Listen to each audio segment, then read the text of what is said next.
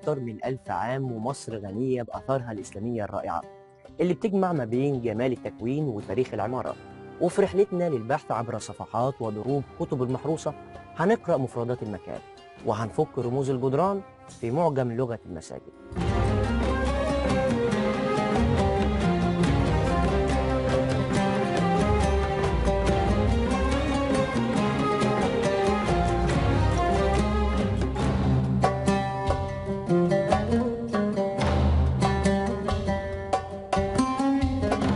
بين أسوار القاهرة الفاطمية بتقف جدرانه بفخر بين المساجد المملوكية.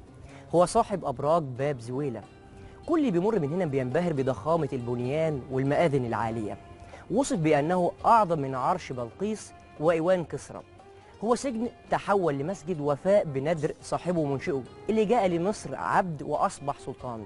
نحن الآن بين أروقة مسجد المؤيد شيخ السلطان السجين.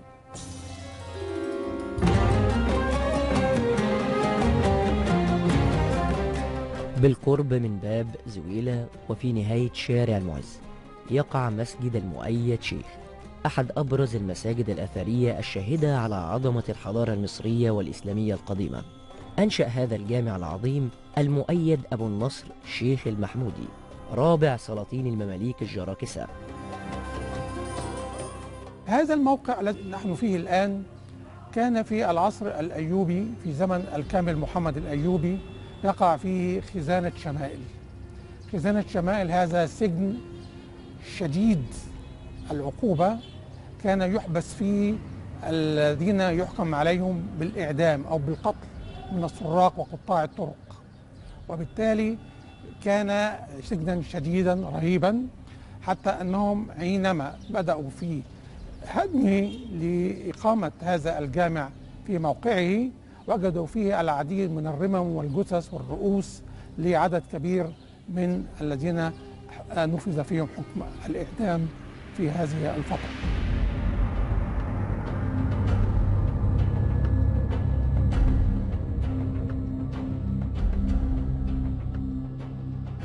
جاء المؤيد شيخ وكان مسجونا في خزانة شمائل. هذه الخزانة التي بني مكانها الجامع. وداخل تأذى تأذيا شديدا ونظر أنه إذا تولى الملك والمماليك عموما كلهم كانوا طامعين أن يكونوا سلاطين فسيبني مكانها مسجدا جامعا وبالفعل أوفى بنذره وبنى هذا الجامع في سنة 818 واستمر بنائه إلى سنة 800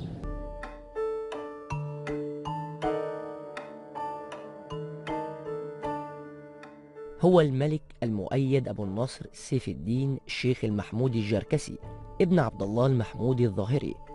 جاء إلى القاهرة عبد وكان عمره 12 عام مع تاجر كبير يدعى محمود ومنه أخذ المؤيد اسمه المؤيد المحمودي وقدمه إلى الأمير برقوق وكان وقتها كبير الأمراء فاعتقه واهتم بتربيته لأنه كان ذكيا يجيد الفروسية ورمي الرمح والضرب بالسيف والمصارعة وسباق الخيل.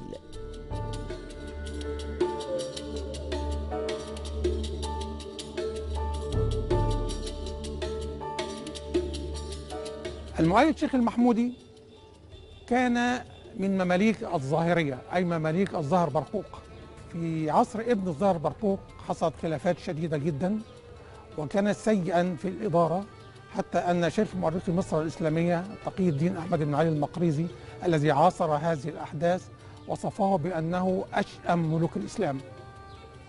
وانتهى الأمر بقتله في دمشق سنة 515 وظلت مصر في الفترة المملوكية دون حاكم وتولى السلطنة لأول مرة في تاريخ المماليك أحد الخلفاء العباسيين الذين كانوا ينظر إليهم على أنهم خلفاء شرفيين فقط يمنحون الشرعية للسلاطين المماليك وهم الذين استضافهم سنة 659 الظاهر بيبرس البندقداري المؤسس الحقيقي لدولة سلاطين المماليك في مصر. واستمر ستة شهور سلطانا إلى أن نودي بالمؤيد شيخ المحمودي ليكون سلطانا فأعاد الاستقرار مرة أخرى إلى البلاد.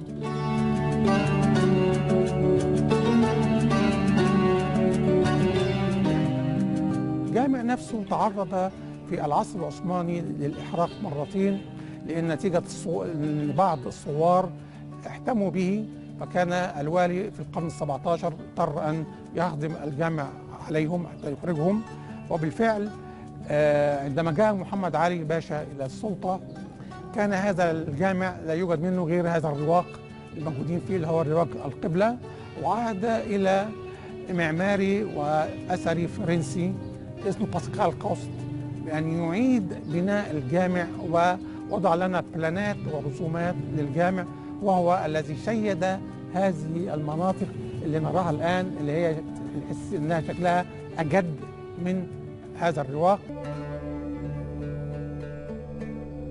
مجموعة المؤيد شيخ تشمل جامع وضريحين وزخرت بمكتبة كبيرة أجمع عدد من مؤرخي عصره على أنه كان محبا للعلم والعلماء والقضاء هذا السلطان الذي لم يقف فقط على بناء مسجد آه، آه، يتصل فيه الناس برب العالمين من خلال العبادات والطاعات إلا أنه أوقفه أيضا للعلم. فكان هذا السلطان يحب العلم ويدرك أن أهل العلم هم خلاصة الوجود وهم أمنة الله على خلقه وهم الذين يحفظ الله بهم هذه الأمة من الزيغ والضلال. لذلك كان يحب أهل العلم وكان يجالسهم وكان يجل الهدي النبوي المشرف وكان يذعن له حتى إنه من حبه للعلم ومن التزامه بالهدي النبوي المشرف كان إذا تخاصم إليه متخاصمين أو متحاكمين وأراد أن يذهب إلى قاضي الشرع فكان يعجبه هذا الأمر ولا ينكره.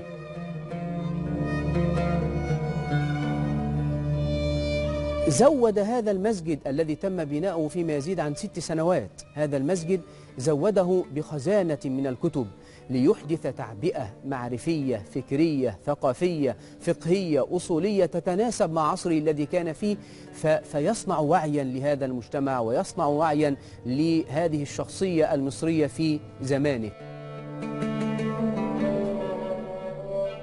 كان السلطان المؤيد شيخ يتسم بقيم الورع حتى إنه إذا أراد الخطباء على المنابر أن يدعو له كسلطان وكحاكم كان يوجههم إلى أن ينزلوا درجة عن الدرجة الأولى. لماذا؟ حتى لا يذكر اسمه في موضع ذكر فيه اسم الله سبحانه وتعالى واسم سيدنا رسول الله صلى الله عليه وسلم. كان هذا السلطان آه، له شيء من قيام بالليل إلى التهجد بالليل وكان يلتزم الورع ولم يصدر منه أي شيء يعني ينسب إلى البدع.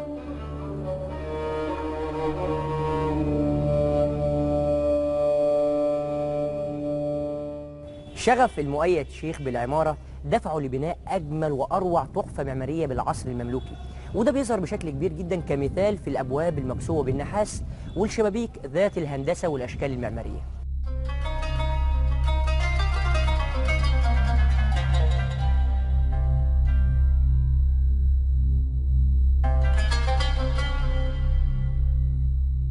يتكون المسجد والمدرسة من صحن أوسط تحيط به أربعة أروقة. أكبرها رواق القبلة. يقع المدخل بالجانب الشرقي من الواجهة الرئيسية ويغلق على فتحة الباب بابا خشبيا مصفح بالبرونز. نقله السلطان المؤيد من مدرسة السلطان حسن. مسجد ال- المؤيد آه، شيخ هو آه، مسجد مبني على نمط إحنا بنسميه المسجد آه، ذو الأروقة الأربعة.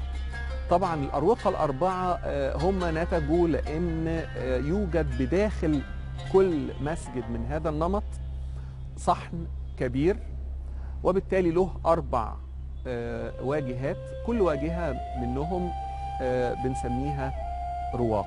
دخولي بقى إلى الأروقة ال- الأربعة هيكون ما بين المجموعة من ال- العقود ال- المستندة إلى أعمدة رخامية آه، فيها زخارف آه، طبعا أي حد هينظر إلى هذه الأعمدة الرخامية ويلاقيها ال- البدن بتاعها كامل من الرخام والنهاية بتاعتها من آه، تيجان من الأعمدة الرومانية.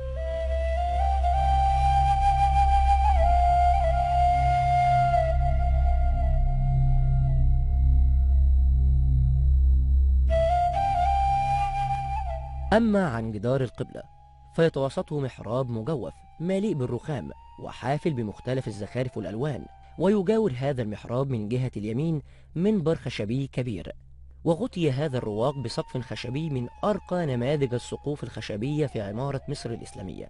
إذا كان الصحن يعني خارج من هذه الفوارة أربع أضلاع اللي هي الأروقة الأربعة فحوائط أو واجهات هذه الأروقة تزدان في نهايتها بما نطلق عليه عرايس السماء عرايس السماء دي طبعا حكاية كبيرة جدا يعني وحتى بالاسم منها كلمة عرايس والسماء يعني فيها جزء من الآدمية إن أنا أسميها عروسة يعني.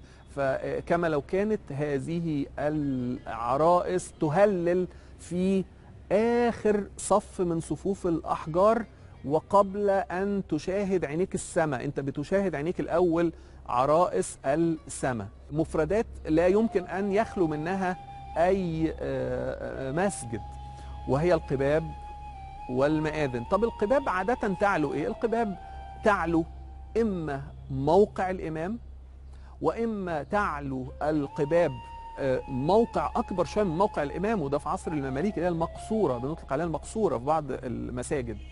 وإما تعلو الأضرحة. القبة لأن ليست لها نهاية يعني هي فيها ال ال ال الأفق بتاعها غير منتهى غير الشكل الإيه؟ المربع اللي ممكن أو المكعب اللي, يغطي المكان. القبة بسبب إن ما فيهاش أي انكسار هي عادة قبة يطلق عليها قبة السماوية.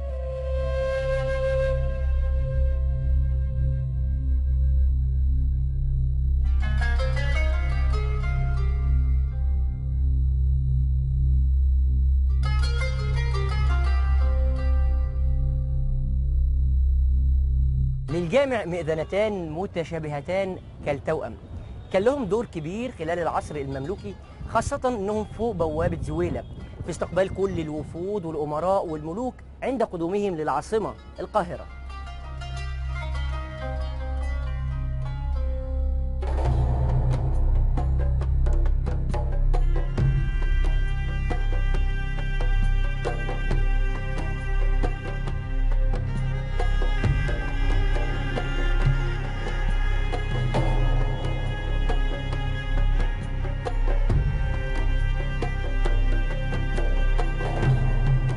المسجد يعد فخر العمارة المملوكية وأجمع كتير من المؤرخين على أهميته. والمقريزي قال عنه إنه الجامع لمحاسن البنيان والشاهد على فخامة أركانه.